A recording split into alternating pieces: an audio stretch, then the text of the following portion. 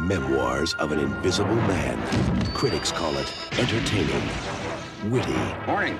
Morning. clever, and funny. I want my molecules back! Chevy Chase and Daryl Hannah are magic. Let's not do anything cheap and meaningless. Okay, what do I owe you? A must-see.